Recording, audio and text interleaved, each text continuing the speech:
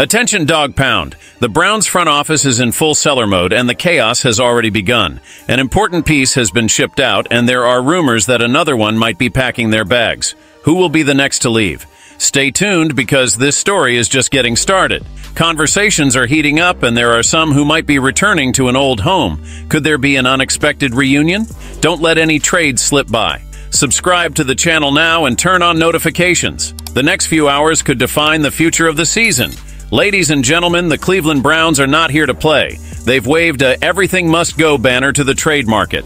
Amari Cooper has been traded to the Buffalo Bills, making it clear that the team is in full liquidation mode. Now the burning question is, who will be the next to pack up? Enter the name everyone is watching, Za'Darius Smith, a beast on the defensive line.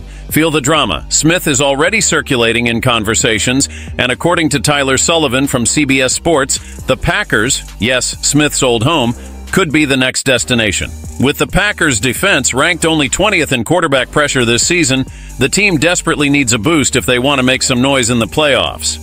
And who better to solve that than the old buddy Smith? It's the return of the prodigal son, my friends. Remember when he used to terrorize quarterbacks at Lambeau Field? Smith was no joke in Green Bay. Right out of the gate, he had 55 tackles and 13.5 sacks. The following year, he recorded 52 tackles, 12.5 sacks, and four forced fumbles. A brute force, an unstoppable locomotive. After a solid stint in Minnesota in 2022, where he made the Pro Bowl for the third time, he made a splash in Cleveland last year. But in 2024, despite his efforts, he's only managed 16 tackles and 3 sacks so far. You can see there's still some fuel in the tank, but maybe the Browns are ready to redirect that power. The man who started his career with the Ravens, a modest fourth round pick in 2015, has transformed into a star in the league. Now, at 32 years old, Smith may be on the brink of yet another turn in his journey. And who knows, the Packers might be eyeing more than just a friendly reunion. The clock is ticking, folks. November 5th is just around the corner, and there's no doubt. The trade market is about to heat up.